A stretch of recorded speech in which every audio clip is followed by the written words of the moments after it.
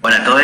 Bueno, eh, les invitamos a interactuar, digamos, a ver, a participar y a aprender a partir de estas pequeñas patillitas que hemos tomado teóricas. No queremos hacer eh, extensivo, digamos, lo que tiene que ver con este tipo de presentaciones, así que mínimamente voy a comentar que se trata, digamos, de repasar en términos teóricos y conceptuales algunas características singulares que tienen que ver con lo que es el transmedia como producción integral. Eh, aparecen los conceptos de multiplataforma, convergencia y polifonía, la cuestión, digamos, del prosumidor, esta cuestión de ser creadores y consumidores al mismo tiempo, la naturaleza de las nuevas audiencias a partir de nuevos hábitos, consumos e intereses y expectativas y formas de participación. Bueno, esto de lo multiplataforma implicaría básicamente que estamos ante montones de dispositivos, de plataformas, de entornos virtuales sobre todo, pero ya sabemos que también a la vez podemos trascender la virtualidad en este universo transmedia y la convergencia a partir digamos, de montones de dispositivos antes incompatibles, hoy digamos con la posibilidad concreta, real, de ser convergentes, no solamente todo lo que entraba de los medios analógicos, radio, TV, gráfica, texto, eh, fotografía, que entraba, digamos, antes con lo que era el más media y que hoy, digamos, en la web pueden interactuar perfectamente a partir justamente de contenidos y lenguajes multimedia, sino también esta polifonía de voces, ¿no? Este, especie, digamos, de, coro ampliado de participación, donde justamente la posibilidad de encontrarse con otras voces es más que interesante. Después, digamos, en cuanto a las características del transmedia, tenemos que, por ejemplo, es mucho más inmersiva que lo que eran el tipo de contenidos más planos y eh, con una sola dimensión que encontrábamos en lo que era, por ejemplo, la web 1.0, que no tenía más que placas de texto y algún tipo de enlace para ir a otra página igualmente plana. Bueno, acá tenemos esta sensación mediante lo que es realidad aumentada, lo que es el 3D, digamos, de aparecer, digamos, de otro lugar, ¿no? De, de, de alguna manera como tirarse a la pileta en esta sensación, digamos, de inmersión que trae. Obviamente que es sumamente interactivo porque tenemos la posibilidad de interactuar no solamente con los contenidos, sino también, digamos, con otras personas a partir y utilizando las mediaciones tecnológicas de esos dispositivos, interactuar con otras personas, ¿sí? Para, por ejemplo, generar cuestiones colaborativas, ¿sí? Producciones, tareas y demás. Así que, obviamente, que interactuamos no solamente con las aplicaciones y los programas, sino a partir de esas mediaciones con otras personas que pueden estar trabajando contenidos similares, no, o recrearlos, o articularlos.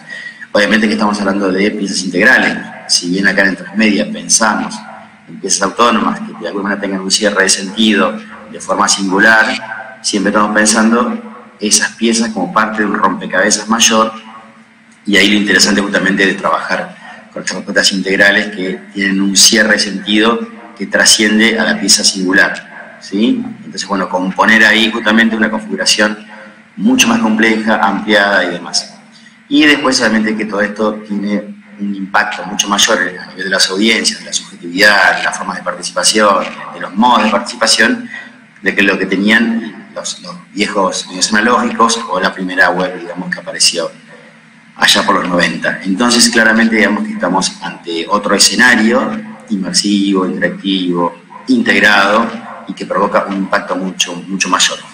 Después tenemos algunas características de participación de, de, los usuarios respecto a esto. ¿Con qué se va a encontrar digamos, un usuario cuando esté pensando en, estas formas digamos, de interacción? Y bueno, obviamente que hay contenidos que tienden hacia una mayor fragmentación, ¿sí? esta cuestión de que se dispersan muchas piezas, de que no hay contenidos lineales, de que hay simultaneidad, de que hay consumo, digamos, que no inicia en un punto, sino que tiene que ver con las formas de acceso, que tiene que ver, digamos, con consumidores de audiencias itinerantes que van migrando de plataforma a plataforma, de propuesta en propuesta, que pueden llegar a volver a ir, digamos, pero que no tienen un solo punto de acceso, sino que son itinerantes, que están en movimiento, son como nómades.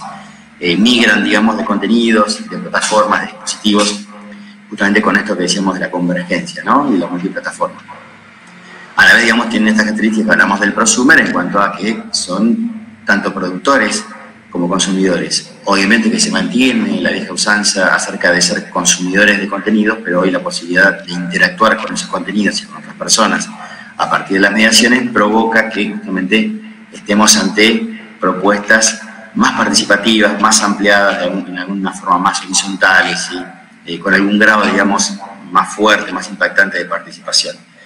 Y obviamente que todo este universo, digamos, tiende a la expansión. ¿Qué hace el transmedia, digamos, como, qué genera, digamos, en los usuarios? Bueno, esta cuestión de que empezamos justamente a partir de un nodo, de un punto de acceso, y podemos, digamos, expandir las narrativas transmedia, justamente mudando a, otro dispositivo, a otra plataforma, encontrándonos con otro tipo de contenido que tiene algún tipo de vinculación de tipo, por ejemplo, aleatoria, pero que no es lineal, y encontramos las precuelas, y encontramos los personajes secundarios, y encontramos como que se abren universos narrativos que tienen puntos de contacto, pero que a la vez proponen ya otra cosa, esta cuestión de la pieza autónoma. Eh, ustedes justamente van a trabajar justamente a partir de estas, de estas ideas.